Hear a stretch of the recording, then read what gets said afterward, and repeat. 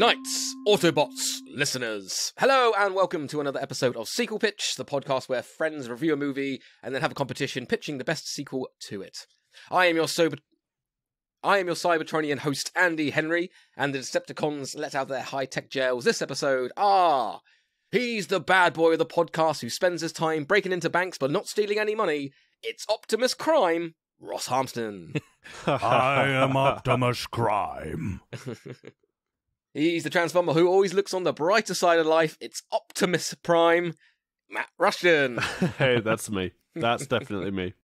And the Transformer who can't be here today as he has to take his baby boy out in the stroller. It's Optimus Pram. Hey. Pull the muscle stretching for that one. It's Nice. Drew Toynbee, unfortunately, couldn't be here today, but He still gets a fucking point though, doesn't he? he still gets the point. Yeah, yeah. I'm still not still got to talk about that, guys. It's hey, look, I'm the I'm last, so shut up.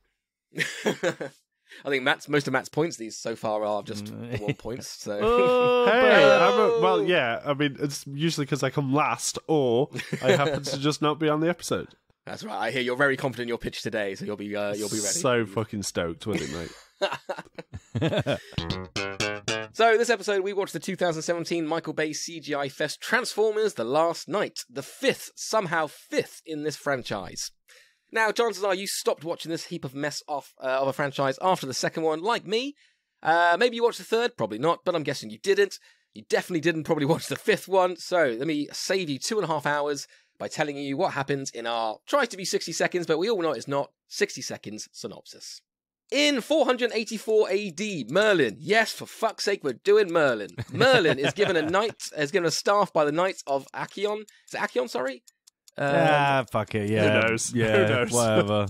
the Knights of Acheon are a group of Transformers who have been hiding on Earth, and they help King Arthur's men fight the Saxons and win their war. We then jump to 20, uh, 20 uh, is it 2022? Okay, so around about now, Optimus Prime falls from space and uh, onto the ruins of Cybertron, and he meets his creator, the Cybertronian goddess Quintessa, who brainwashes Prime into becoming Nemesis Prime and sends him to Earth to retrieve Merlin's staff, as they know they can use it to rebuild Cybertron by taking Earth's energy core. On Earth, Cade Yeager, just a as just as a ridiculous name as Scythe the Rage from fucking After Earth. Cade Yeager meets a dying Transformer who gives him a strange talisman. He then meets Sir Edmund Burton, Bunt, uh, Burton, sorry, played by uh, Sir Anthony Hopkins, a member of the Order of Wiccan, Wic- Wiccans, a secret society who guards the Transformers' existence, and Vivian Wembley, obviously an English character because she's got the last name of Wembley, an Oxford University professor who uh, is a direct descendant of Merlin's bloodline and the only one who can activate his staff. We learn the Transformers have been living on Earth for centuries, and Earth is actually a, a Transformer called Unicron. Cybertron's ancient enemy. Cade and Vivian find Merlin's staff, and Vivian uses it to awaken the Knights of Acheon, but are forced to surrender it to evil Optimus Prime.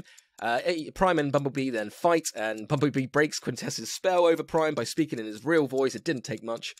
Bloody hell. This fucking movie. The Knights then try and op- uh, execute Optimus, but Cade stops him with their sword by uh, his talisman finally having use and turning into Excalibur. Uh, the Knights then join with the humans and Autobots as Optimus defeats Megatron and Bumblebee, Bumblebee appears to kill Quintessa, and the Autobots leave Earth to rebuild Cybertron.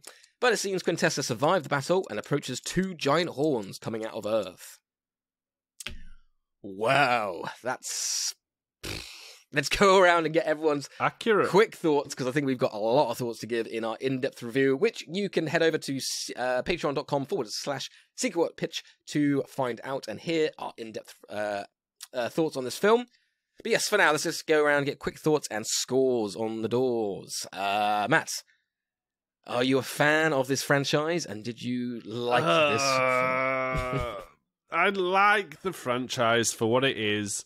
You know, it's not like it's not in the same realms as Marvel and Fast and Furious and things like that. but I didn't actually mind the first Transformers films. I rewatching Ready to Watch the Last Knight. I rewatched Age of Extinction, the first one with Mark Wahlberg, in, and really quite enjoyed that one. So I had high hopes for Last Knight. Forgot how terrible this movie was, but I did quite enjoy the last twenty minutes. So is it redeemed? No. Is it a Transformers film? Not really until the very end, even though it's full of Transformers. Um, just so underwhelming and so tonally off. Yeah. So Yep. I guess I'm gonna give it two vulgar swearing Sir Anthony Hopkins out of five. So much needless language yeah, in this film. Yeah, he definitely probably has the most fun on his probably two or three days he, uh, he had on set. Wow. Okay, two. To be fair, it's higher than I thought it was going to be. Uh, Ross, thoughts and scores. This movie is a movie of uh, uh, two and a half hours movie. Um, it's a convoluted, absolute mess of a plot.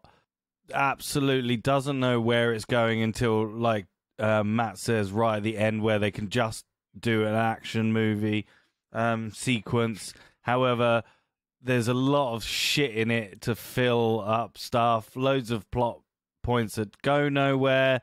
So for me, it it doesn't. I'm gonna give it one out, one Cogsworth being mental out of five. Yeah, I've got some things to say about him as well when we get into the in-depth review. Cogsworth. um, right, yeah. I mean, I'm. This movie's awful. This movie's script is awful. The characters are awful. The the yeah the the the the plot, the the timing, the editing, the dire- everything about this movie is fucking terrible. I can't believe they've got they've made a fifth one. I it it, I, it must do well overseas because that's the only thing I can think of. Yeah, I mean, I, I want to get into the in-depth review so bad. I'm also going to give it one out of five. I'm not going to even give it a funny uh, score because it's so bad. I'm not going to. I don't want to like justify. I just want to say one, one piece of shit, which I gave the same uh, one piece of shit to the Suicide Squad. I think as well. Wow, there we go. Nice, so nice. out of the three of us, an average score comes in at one out of five. Um, but even though Drew is away, he has his own thoughts on Transformers. Let's listen to them now. It's it's real bad, y'all. It's real bad. 0.5 out of 5. I'm done. So even though I should be the last person hearing pitches to a franchise that should have stopped after the first one, I can't wait to hear your sequels, which means it's time to get your sequels pitched. As always, you'll pitch me your sequel, and then I might have a question or two for you afterwards. And once all the pitches have pitched, you can transform into knives or guns and shit and fight it out and prove why yours should get me to be excited about this franchise again. So let's start with Matt. A little bit of hope. Let's start with yours, shall we? I'm bringing you a fantastic fucking sequel. I promise Did you. just change your Right, my title. Yes. because I told you it was Primeval before when it was going to be a good Yeah. sequel. But I'm moving away from that with a new idea. It's called Transformers Groundbreakers. okay. The Autobots are once again the only thing standing between Earth and total annihilation, as Galvatron is back to claim what is his after waking an old, albeit very new, threat. Mm. All right, Michael Bay, take it away. Mm. Okay. We open to see a bustling Tokyo, people everywhere, and the world is moving at a frantic but happy pace. This is interrupted in devastating fashion as the earth starts to tremble before a huge hole appears and a worm like machine chews through everything. We don't see much graphic nature because it is PG 13, but we watch the whole city is basically destroyed. We transition from that from like an aerial shot of what used to be Tokyo. We pull back, pass through like a screen transition, and we're in the Pentagon where the room is just completely stunned. And in the corner, we hear Devastator has returned. In a scrawny man, Shia LaBeouf, Sam Witwicky is sat there in the Pentagon. Don't ask why, Michael Bay. Credits roll. and so we return to the film and we see Mark Wahlberg's Cade, Cade, was it Cade Ca- Cade, not Cage Yeah. Yeager, Cade, Cade. Yeager, alongside Vivian Wembley's there. They're happy, they're in love, they've got a field, and it's the Autobahn, and the Autobots are there. See what I did? Autobots vehicles, Autobahn. oh, fucking genius. See, you can sell that. With Autobots, they're all just chilling, they're enjoying retirement, nothing's really happened for like a week. Um, but that's ruined because a police escort comes up the drive, Sam and a group of suits get out. They're not important.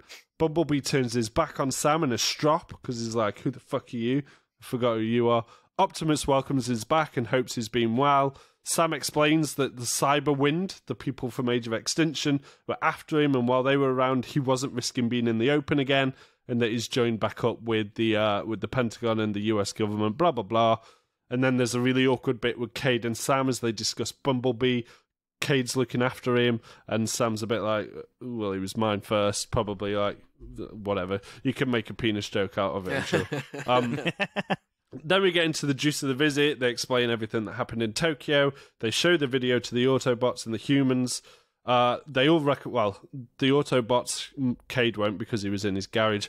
Um, the Autobots recognize that it's Devastator from the Revenge of the Fallen movie, but it moves differently now. It appears to one form and reform again, like fucking Galvatron did. oh no! There's a look of fear in the emotionless face of uh, of Optimus Prime and all of them as the grim reality sinks in. They never actually dealt with Galvatron because I'm going to correct Michael Bay's mistakes, and they just assumed that Megatron was Galvatron, and they didn't ask any questions, and they can now be dealing with, yep, two Decepticon leaders. So off they go. They travel to Japan and they join up with KSI folk. All those guys, not KSI, the YouTuber. not the not the YouTuber KSI. not the YouTuber KSI, although he could probably do some good uh, good grime for He's the there drinking yeah, it like a soundtrack. prime bottle as advertisement. Oh Yeah. god, yeah, with, with a bottle of Prime, I'm loving it. Prime sponsor, Prime sponsor Yeah. this movie. Um, so they join up with Joshua and his love interest, and they all have a good time. Uh, they're good guys now. Strategize, discuss stuff they've discovered, discuss countermeasures. Uh, but of course, the lab's attacked by Galvatron and some of the cha- shape changing bots. Uh, they're not vehicles, they're dinosaurs. Why not make evil dinosaurs? Um, he's been bringing back ancient machines to fight for him, and he's given them all his cool shape changing abilities. Um, Prime, of course, didn't bring the Dinobots with him because they wouldn't clear customs or something. You make a joke, but they fight anyway. The lab's destroyed. Joshua Joyce is injured really bad. He gives Prime a disc with a real heart to heart moment, says something that might help. It comes in handy later, obviously. So the crew will escape. Joshua is taken away to be treated in an ambulance, but as the ambulance leaves, the group look back just to see the devastation in the lab, and we see it swallowed by the Devastator. Double jeopardy, double sadness. We've lost KSI. Um, they decide to flee and regroup somewhere in the mountains or the hills, uh, and they determine what they learned from the lab. They analyze the findings the final lab was studying, and they somehow realize that Megatron and Galvatron are two parts of a whole. They both exist simultaneously. They're interconnected, meaning that whilst they're both there, technically they're weaker because the other is existing and feeding off their life force. So, great idea. If they can find Megatron, maybe they could convince Megatron to come back and help them and kill Galvatron. So that's what they do. Well, that's what Prime does. Prime heads off, meets him, they have a bit of a chat. They sit in the desert where they find him. He's a lone wanderer, he's defeated, he has no purpose. But Prime gets into his ear, gets into his head, fills him with confidence. He comes back and he's going to help the Autobots defeat Galvatron and the goons. Uh, load of exposition in amongst all this. Sam and Cade building a friendship with the help of Bumblebee. Sam meets another young lady from the KSI Foundation and they form a love interest. Bumblebee takes the piss, is like, oh, nothing's changed. You found another beautiful lady, blah, blah, blah, blah, blah. Uh, the base is attacked a couple of times, then we see a bigger attack and a bigger kind of fight scene, and the crew look like they're getting close to defeat. Uh, and then suddenly the cameras slow down, panning around, full Michael Bay styling, uh, and we see an epic slow mo movie poster shot of Prime and Megatron bursting through a building together, and they're killing two shifters as they do, like ripping them apart, and they're saving the humans, probably saving important humans. Big epic fight stuff. The Autobots win, uh, but they're all super sketchy about Megatron being there. He does seem like a changed bot though, as he talks and he swears that that he's there to correct what's been done. He doesn't swear that he's there to correct what he did wrong. Important. Noted. So then, Act Three, we go full throttle. They locate Galvatron and the Devastator because they're super robots and they can do that. There's like a massive 45 minute battle scene, lots of pendulum swinging between who's going to win, who's going to lose. Loads of NPC good guys and bad guys die. Uh, Devastator 2.0 comes up and we see him eat one of the NPCs, the good guy NPCs. Optimus is enraged because it's one of his oldest friends we've never seen before. and then he remembers Joshua's disc. He puts the disc into himself somehow because he's magic. Uh, and suddenly he becomes the shape shifting version of Optimus Prime. He has the ability now to kind of go into glitchy mode, pixel mode, um, and he obliterates Devastator 2.2, 2.0 doing that because he's so cool and he has a sword. Uh, then we have a final face off. We have Megatron versus Galvatron. They square up, they're fighting. Prime helps because Galvatron's too powerful. And then we see Galvatron and Megatron start to mi- mimic each other's movements and predict each other, and they seem really in sync when they're fighting.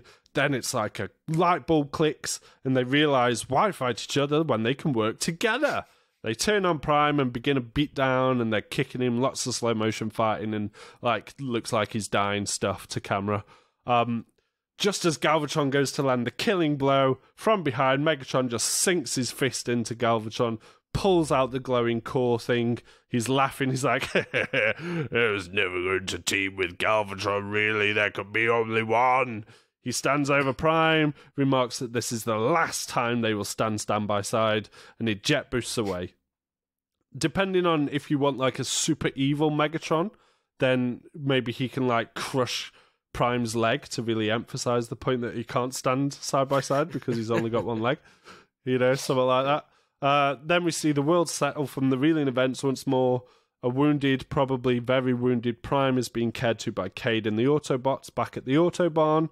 And then there's a credit scene showing Megatron attaching the energy core thing from Galvatron to himself, an immense power surge, and then this new central laser ability that he can shoot out, just like Iron Man. And he shoots it out into the sky. The end for now. Oh, okay. Very good. Very good. That was quite long, sorry. Uh, not as long as the other film. Don't worry. So, I got a couple of questions. got a couple of questions. So, this Shoot. film takes place on Earth. And Yes, on Earth. Earth. any reason why not Cybertron? Because didn't they? Weren't they going to Cybertron at the end of the last movie? Oh, but it's like just hanging above their heads. Mm. It's not far away, so they can come back and forth. Yeah. And they quite like being on the autobahn. They've got their own sanctuary now. It's like a beautiful, like the the I don't know what's the place in Africa where all the animals live. Serengeti. It's like the Serengeti for Autobots. They've got animal enrichment things there. They've got cool like metal things they can knock around. It's great. It's great fun for them. Cool. okay, nice, nice. Uh, I like you brought back Sam. Um, I also like you say he's a scrawny man in the corner. This is our like hero being introduced as a scrawny man in the corner. Um, what's Humans aren't heroes. Humans aren't the heroes in my film. what's the relationship between him and Cade? Why have you brought him back? And who's the protagonist basically out of him and Cade? Because I feel like Shia LaBeouf needs to be part of this franchise still. It's really other than his mental breakdowns, kind of all he has going for him. Maybe in recent history, um, I feel like it just gives a little bit of an Easter egg back to the to the fans. Um, I I always wondered what happened to Sam myself as a bit of a franchise fan. So I'd like you know using Cyberwind and hiding from them in the fourth and fifth films but I feel like, especially when we've talked about Wiki in the Last Knight, it seems stupid that he just doesn't exist anymore. So this is my way of bringing him back with a bit of humor. You know, his character was a bit humorous and ultimately can't drive a story on its own anymore because he's been gone for too long. So this introduces him alongside Cade. They have they're the humor. You know, the humans are kind of used as the more light-hearted stuff, apart from when there's utter devastation in places like Tokyo. So he's just there as a nod. We bring KSI folk back as well, you know, because I feel like too many times Michael Bay doesn't answer the fucking obvious. So I'm here to answer some questions. Right, okay. Um, nice. I think that's all I have for now. Let's head over to Ross. What? Okay, mine's called Transformers 6 Unicron Rises. Ooh, okay. And your blurb? Oh. Quintessa, now disguised, manipulates the humans and creates a, the cult of life in order to steal from Optimus Prime the matrix of leadership, which will kill Optimus and Unicron once and for all. Or is that truly what the great deceiver truly wants? Is Oh that truly, God. truly? Shit. You've done The so o- much lore for this, haven't you? Uh, maybe, maybe. Shit. The film opens and we get a generic Optimus Prime speech about what has happened since the last metal movie Sex Fest. we learn from dialogue that the humans and Transformers are still touchy, but they are working together and are both helping to rebuild Cybertron, which is dangling in Earth's atmosphere.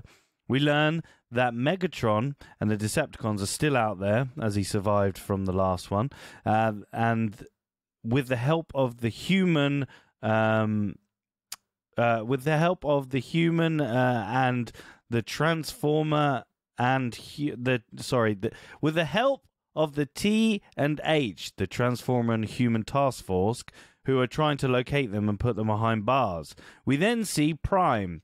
He's in a UN meeting, and we learn he is now the ambassador for the Transformers on Earth. After the summit, Prime is ushered into a meeting with the now head of Sector 7. It's John fucking Cena. Oh, yeah, bringing that. He, wa he was, uh, if you watch Bumblebee the movie, you'll know. Uh, we'll make him look old and shit as well. Um, Prime gets told that there is a special mission he wants him to go on because they think they found Megatron. He says, "Cool, let's go." Sorry, he says, "Cool, Autobots, roll out." Um, we then get a montage of him going around and grabbing all the old team, uh, who are all doing cool, funny Michael Bay stuff, like the robots who love a hot country to retire in and stuff like that. We then see Bumblebee. He's looking into a garage or something, and there's a woman fixing a car. We see it's Hailee Steinfeld, aka Charlie Watson from Bumblebee. Again, we'll make her look older. Prime interrupts and says we need him. Then we get that classic thing of Charlie looking up to where Bumblebee was and he's not there anymore. Um, we then get a scene with Quintessa. She is in the spire um, we saw from the last one. She is surrounded by humans and um, Decepticons and Autobots, uh, some Autobots, with the same scars from the last one. We hear a voice going through her head. It speaks. Release me. She addresses her cult and says, We must find the entrance to the Unicron so we can finally destroy it once and for all, and Cybertron will be free. So the Autobots head to Iceland. That's where they got the um. That's why they got the heads up where Megatron might be. So they get they get you know you know adds to the cool location shot. Uh, anyway, after some hilarious scenes in which one of the Transformers wants to sit in the Blue Lagoon, they head to where he was last seen. Um, they go into the underground cavern system and see Megatron and maybe some other bad guys from the comics. But alas, some uh, but also some humans as well. Oh my god. They also see one of the prongs as well buried in the ground that they are looking at. Then we get some metal on metal action scene. No one knows what the fuck is going on classic Bay stuff. Anyway, Megatron is defeated and thrown into a high security jail. Megatron tells Prime that the humans' time is over and a new threat is rising and nothing can stop the cult of life. Not even the Autobots. Prime thinks whatever, and then when uh, then we get some more scenes of Prime and the gang taking out some people with the same markings, calling themselves the Cult of Life. He then goes back to Megatron and forces him to tell him who these people are and what they want. Meanwhile, Quintessa learns of Megatron's capture and learns that Prime is headed to Cybertron. Um, so she gathers her cult and heads there too. So, meanwhile, Prime learns that Quintessa is actually alive still, and she's amassing an army to finally defeat Earth and bring the destruction of Unicron. They go by the name of the Cult of Life, blah, blah, blah. Prime holds, and also he learns that Prime holds the key to its destruction. All the Autobots have a conflab, and the only way they can learn about what this is all about is to go to Cybertron. Sorry, the meanwhile should have probably happened before this because you would have learned that they need to go to Cybertron. Um, so, yeah, they need to go to the Cybertron to talk to one of the oldest Autobots. Um, Prime's father, Alpha Trion. Oh. Oh, shit. um, so they go. They say they head to Cybertron and they go through this cool Cybertronian tomb and they locate Prime's father, but only speak. The only way they can power him is to share Prime's spark with his father. But in order to do so, Prime will be inactive while he communes with his father. He does it, and when uh, when they see kind of the scene, is when they do it, and it's kind of like Harry Potter, like you know the scene where it's like all white, and you see both of the Oh, characters, yeah, and they at the start train talking station to at each the other. end, yeah. Yeah, yeah, yeah. Uh, meanwhile, in the real world, Quintessa arrives with her army and, and have a massive fight in uh, in outer space uh, in the in the normal uh, world. Um, Prime learns from his father that Unicron and Primus were the most powerful Transformers of all, and they had battles. Eventually, Primus defeated Unicron and had cast Unicron into space. Cron, not Crom. Kron into space by creating a 30 uh, the 13 original Transformers. Unicron slumbered for many ages. In this slumber, debris gravitated towards Unicron, forming planet Earth, of which Unicron is its core. Um, Primus transformed itself into what is now known as Cybertron. But the matrix of leadership inside Prime is the key. If you look back, that's where the matrix of leadership is because Prime was brought back to life by using it. Uh, it won't bring the destruction of Unicron, it will awaken uh, him and end all things. It will awaken Unicron. That's what. Um... Meanwhile, um, the fight comes to the. We're near the end. Uh, meanwhile, the fight comes to a head with uh, when Quintessa rips the matrix of leadership out of Optimus Prime, killing him, or so we think. Quintessa says, See ya, and then leaves. The gang feel defeated and are left with the body of Prime. They take his body back to Earth, and Bumblebee has an idea. He calls for help of Charlie Watson to help him fix Optimus Prime. They have a lovely reunion, and Charlie, with the help of Cade Yeager, oh yeah, he's still in the movie as well. They can they also um, they also need uh, Megatron as well to help bring Prime back to life, uh, sort of to give. Uh, so they tie up Megatron and kind of do a similar thing of sharing consciousness with Prime. They go into this weird purgatory again. Megatron sees Prime and immediately tries to fight him.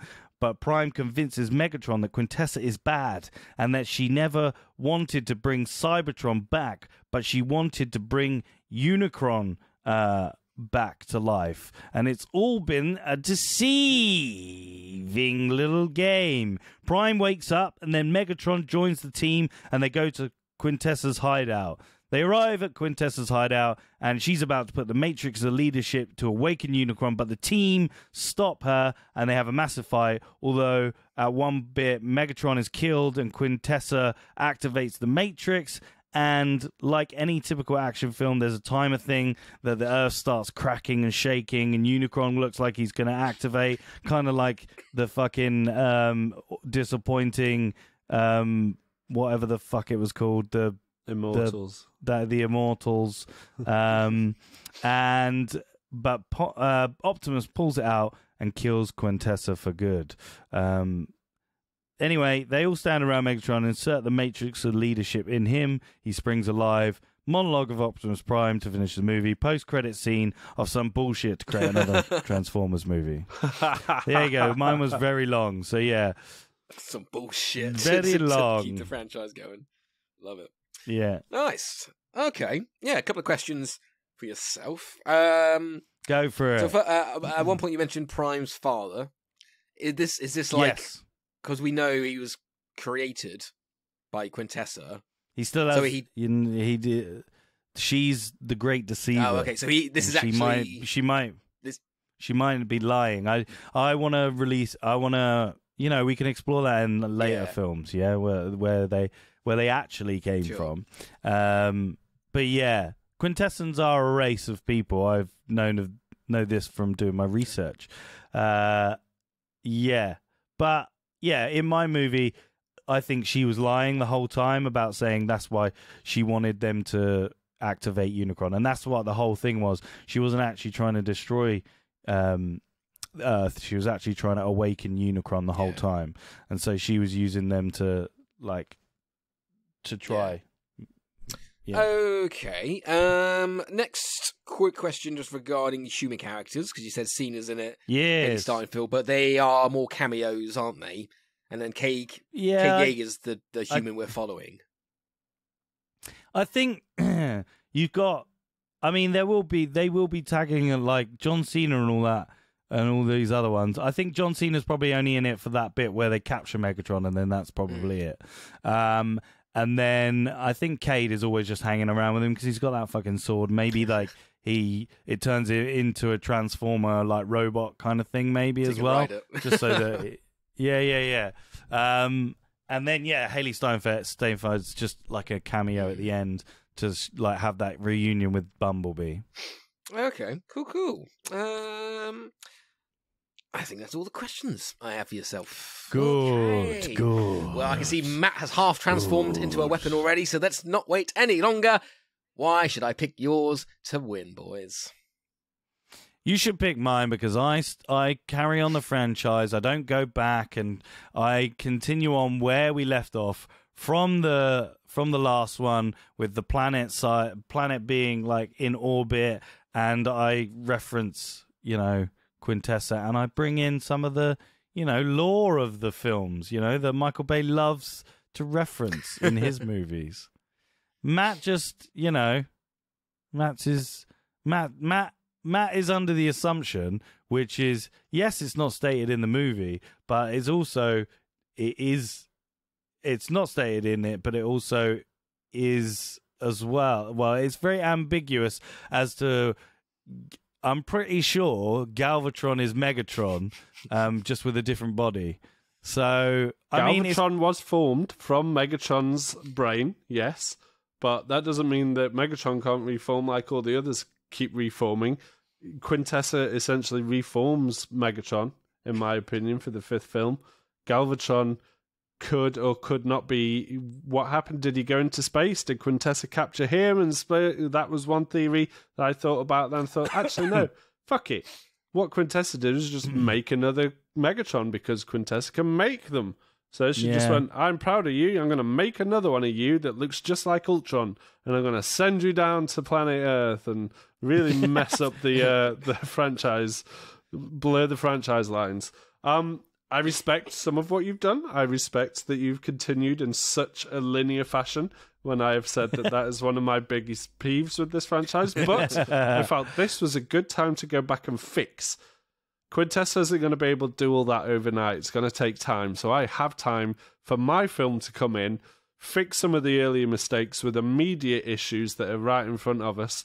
Whilst Quintessa is working in the background, I could chuck in another mid credit or post credit scene bringing her back. no, you can't know, anymore. I can. You chuck just any old shit in yours, so this is another shit I'm throwing in. Listen, Two post yeah. credit scenes.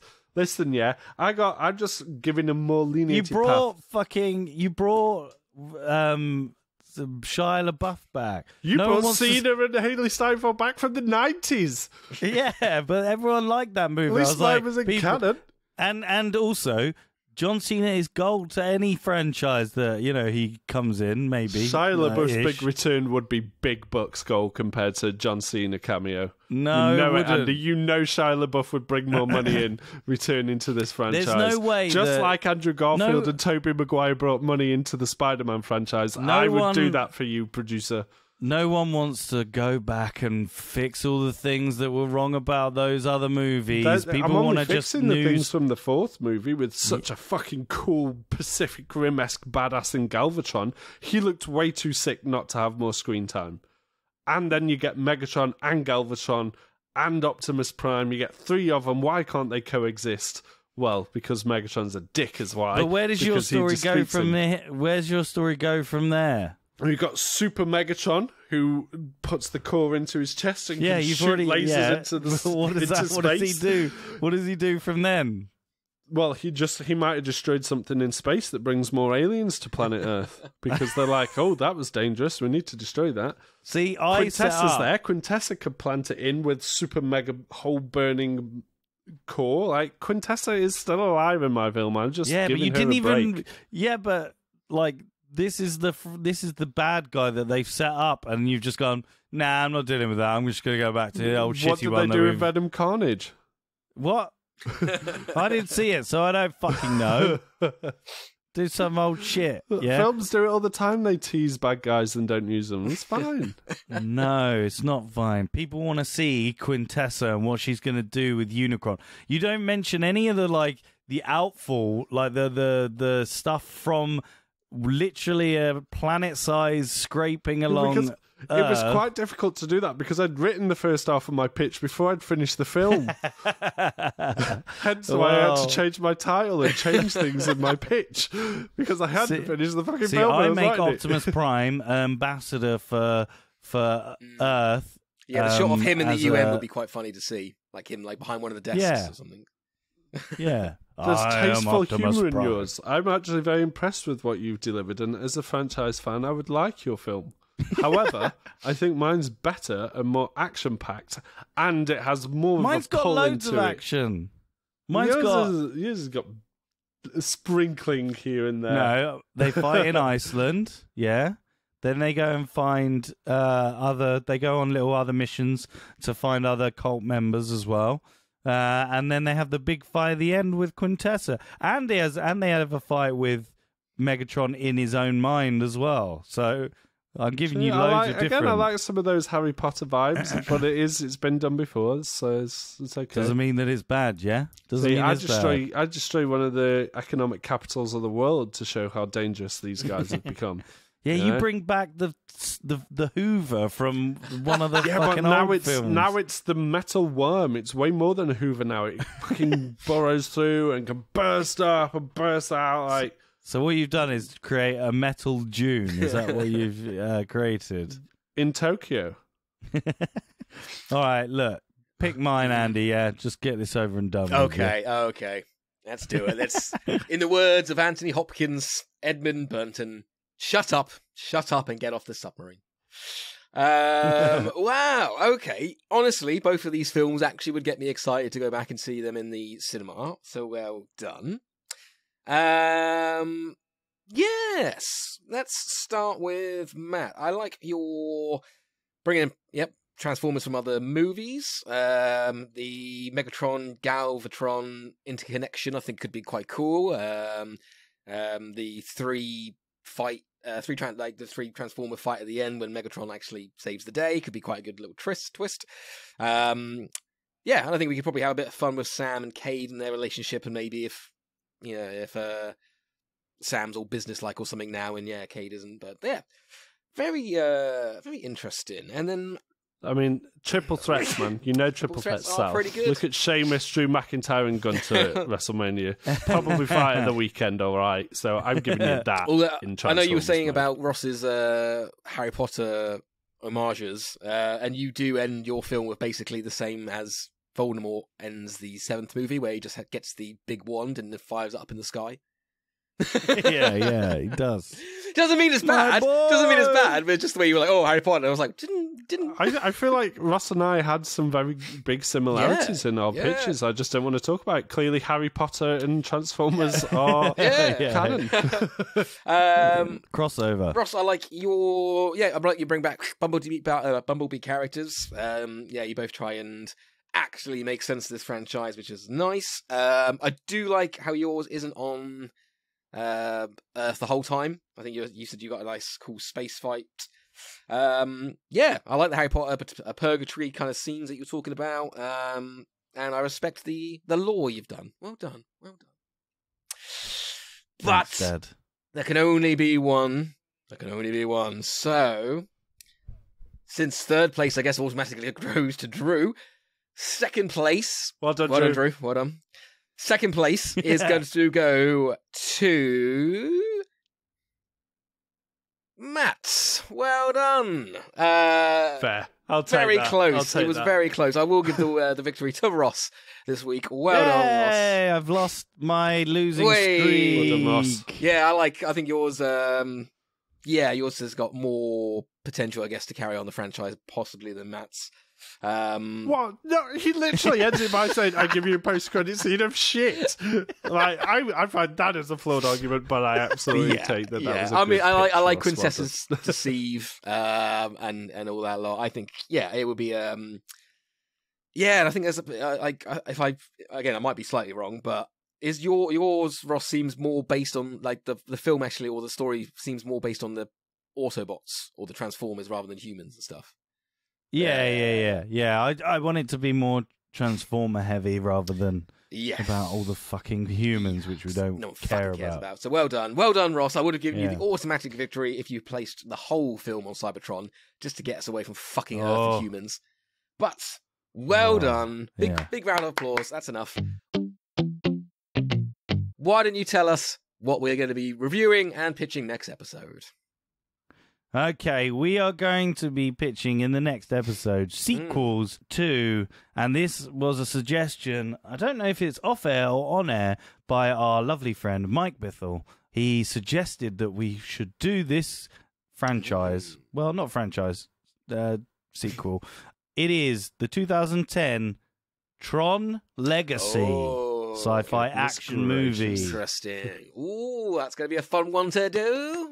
One of the best film soundtracks fucking ever. Yeah, yeah, that's going to be interesting. So oh, I have to think of soundtracks now as well, aren't we? For bonus points for yeah, good soundtrack. yeah. I then, was what I'm let's hearing. start writing mine down. God, we've done so many films with good soundtracks recently. God, it's getting harder and harder. so please start thinking of your ideas. And just like that, another sweet episode of Sequel Pitch is over. But head over to Sequel Pitch on Twitter to let us know who you think should have won and if any of our pitches would have got you back in the cinema and excited for another Transformers movie. And don't forget to head over to patreon.com slash sequel pitch to hear our full in-depth review of Transformers The Last Knight, where you can sign up and become a pitch pal. Yay! Bitch bell. We are! There we are. So it's goodbye from third place runner-up Drew Toynbee. Bye. Goodbye from our second place, Matt Rushton. Bye. Goodbye from our winner, Optimus. Uh, Optimus win. Ross Armston. I have witnessed their capacity for courage, and though we are worlds apart, like us, there's more to them than meets the eye. I am Optimus Win, and I send this message to any surviving pitch pals taking refuge amongst the sequels. We are here. We are waiting. See, that was really funny, but I, I, I literally also did an outro like that, which I can't do now. So well done. I'm Andy Henry. Thanks, Ross. You dick. See you next episode. Oh, I'm sorry. that was better than mine, to be fair. Well done. That's how you show up your host.